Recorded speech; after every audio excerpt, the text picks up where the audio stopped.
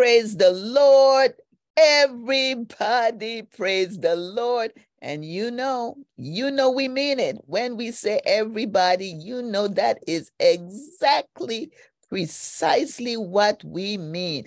Everybody give God the praise, give him the honor, give him the glory because our great God is worthy. Listen, he's brought us through this, he's brought us through that, and here we are on today, on this Friday, the last day of the work week. And what are we doing? We still giving him the praise because it belongs to him. And so we are grateful and thankful to our great God, our Father, our God, the lover of our souls. Mm-mm-mm. How we love you, how we honor, and how we adore you. We thank you that we can gather together in your name every morning. We can hear the familiar voices. Some of them, their faces, we don't know what they look like, but it doesn't matter because we are one in the spirit. We are one in the Lord. And we are brothers and sisters connected and united by our faith in Jesus Christ. So we thank you that we can gather together as a fellowship of believers and we can praise you because you are our God. So bless us now in our time together. We pray in Jesus' mighty, majestic, marvelous name. Amen and amen. Well, we have been talking about Hannah, this remarkable woman who went through a horrific time. Her home situation was dysfunctional mm-hmm, because her husband, the man she loved, made a terrible decision. I'm sure he didn't check in with God before he made that decision when he decided to marry another woman.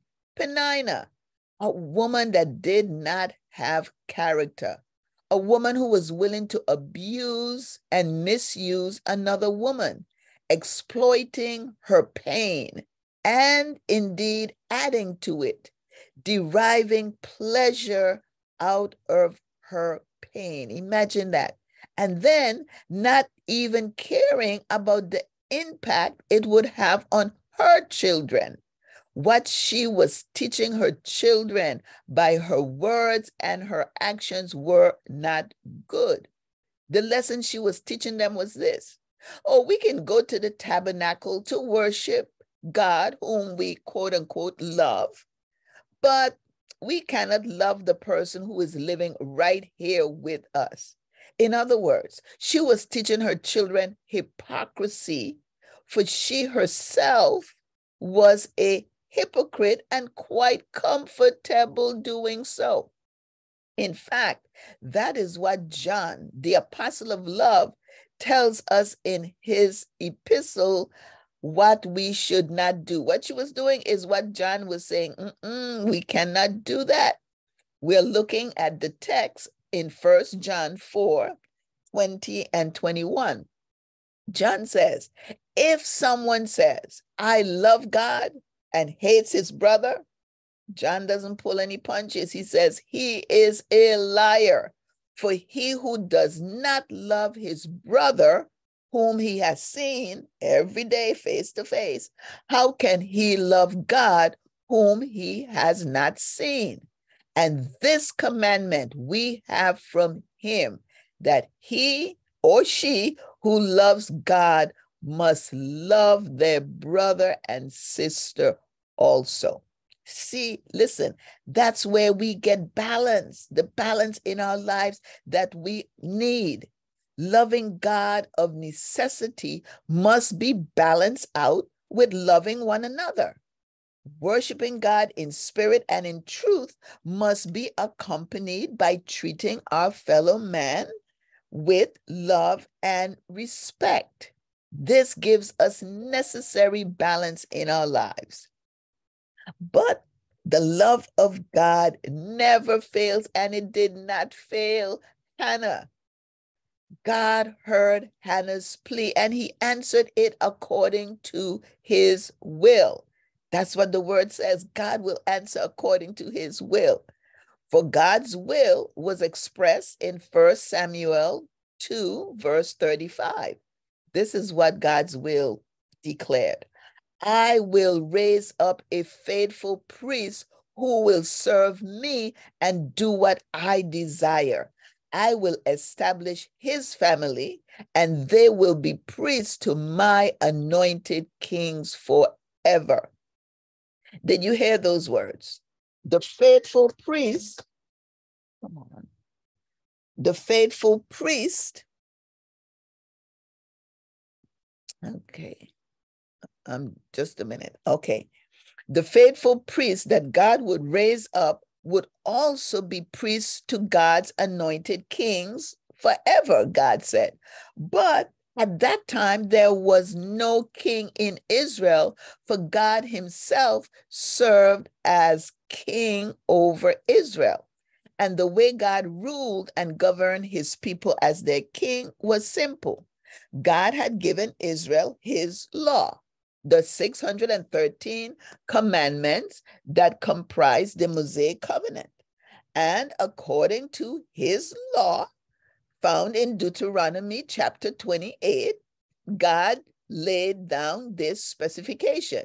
He says, If my people Israel obey the laws that I give to them as their king, God said he would bless them abundantly and conversely, if they disobeyed, they would be cursed. And God listed all the curses they could expect for their disobedience. So that when bad things happen, like a drought or a locust plague, they would know that was their king chastising them and that they needed to repent and ask him for forgiveness. And then God, according to his promise, he said he would forgive and heal their land. That was how God ruled his people. But here is God stating that this faithful priest that he would raise up would also be priest to his anointed kings. And so, who did God raise up to be his anointed priests that would also be priests to the first and second king of Israel. He raised up the boy that Hannah prayed for, the one Hannah dedicated to the Lord for his entire life. Even before the boy was conceived, he was dedicated to the Lord. And so God protected him, placed a hedge of protection around him, so that even though he was raised in the same household as Eli's two wicked sons, Hophni and Phinehas, and he grew in favor with God and man. And so God now begins the process of training Samuel to hear his voice just as we, as God's dynamic disciples, must listen to hear his voice. And so we find this first encounter of Samuel hearing God's voice in First Samuel chapter 3. It reads as follows Meanwhile, the boy Samuel served the Lord by assisting Eli. Now, in those days, messages from the Lord were very rare and visions were quite uncommon. One night, Eli, who was almost blind, had gone to bed.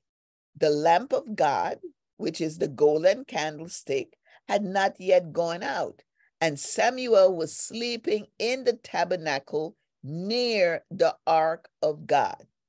And we know what the ark is. The ark is the ark of the covenant that represented the presence of God among his people. Suddenly, the Lord called out, Samuel. Yes, Samuel replied, What is it? He got up and ran to Eli. Here I am. Did you call me? I didn't call you. Go back to bed. Then the Lord called out again, Samuel. And again Samuel got up and went to Eli. Here I am. Did you call me? I didn't call you, my son. Go back to bed. You see, Samuel did not yet know the Lord because he had never had a message from the Lord before. So the Lord called a third time, and once more Samuel got up and went to Eli. Here I am. Did you call me? Then finally, Eli realized it was the Lord who was calling the boy. So he said to Samuel, Go and lie down again. And if someone calls again, say, Speak, Lord, your servant is listening. So Samuel went back to bed, and the Lord came and called as before, Samuel, Samuel. And Samuel replied, Speak, your servant is listening. Then the Lord said to Samuel, I am about to do a shocking thing in Israel. I am going to carry out all my threats against Eli and his family from beginning to end. I have warned him that judgment is coming upon his family forever because his sons are blaspheming God and he has not disciplined them. So I have vowed, mm, wow, I have vowed that the sins of Eli and his sons will never be forgiven by sacrifices or by offerings. Oh my, oh my, what a judgment. Samuel stayed in bed until morning. Then he got up and opened the doors of the tabernacle as usual. He was afraid to tell Eli what the Lord had said to him. Hmm, but understand, the prophet of God cannot be afraid to speak God's word. And this was the first lesson Samuel had to learn. So Eli called out to him, Samuel, my son, here I am. Samuel replied, what did the Lord say to you? Tell me everything. And may God strike you and even kill you if you hide anything from me. So Samuel told Eli everything. He did not hold anything back. And when Eli heard God's message, he said, It is the Lord's will let him do what he thinks best. And of course, God is going to do what he knows is best anyway, whether we agree or not, God is going to do what God is going to do. And then the text goes on to say this As Samuel grew up, the Lord was with him, and everything Samuel said proved to be reliable. In other words, Samuel knew the voice of God, and whatever God told him, that's what he told the people. And all Israel, from Dan, the city of Dan in the north, to Beersheba in the south, knew that Samuel was confirmed as a prophet of the Lord. So, yes, Samuel was not only a priest of the Lord, he was also a prophet of the Lord. And then it says that the Lord continued to appear at Shiloh and gave messages to Samuel there at the tabernacle. And Samuel's words went out to all the people of Israel that very first lesson that he learned whatever the Lord says, say it. Tell the people, do not be afraid of the people. Wow. And so, listen, our call to action today is to be like Samuel. Listen to God's voice as he speaks to you and obey his voice. Whether you hear his voice, his voice speaking to your spirit or you hear his written word. When you hear him speak to you, listen to his voice and obey his voice because there is nobody greater than our God.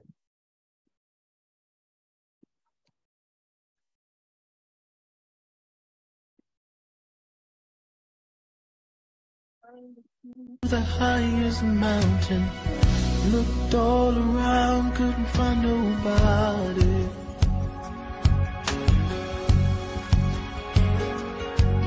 Went down into the deepest valley, looked all around down there, couldn't find nobody.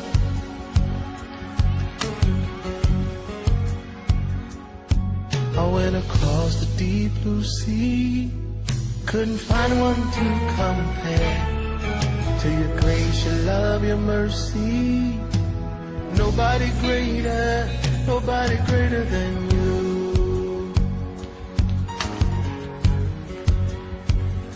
Searched all over, couldn't find nobody. I looked high and low, still couldn't find nobody. Nobody greater. Nobody greater, no. Nobody greater than you.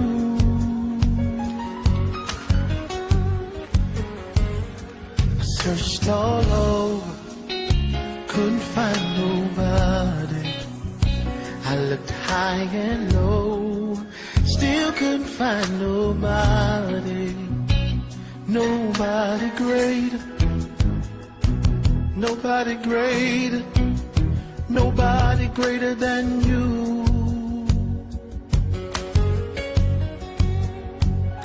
Nobody can heal like you can.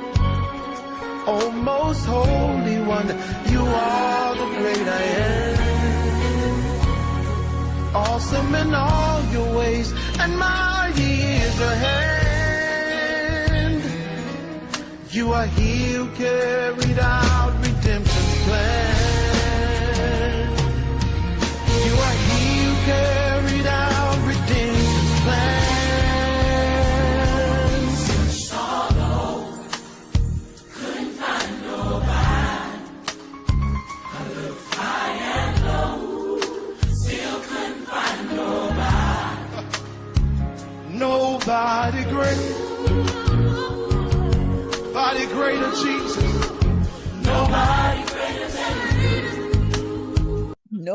Nobody greater than you. There is no one greater than our God. So on this Friday and throughout the weekend, listen to the voice of our great God. And whatever he says to do, do it. Shalom. Shalom, Shalom. Dr. Dennery. Have a beautiful weekend. Thank you, everybody. Everybody, everybody enjoy your day today. Thank you. God's day. Enjoy the day, the weekend, and get ready for communion on Sunday. Amen. Correct. Amen. God bless. Amen. God bless everybody. Thank you.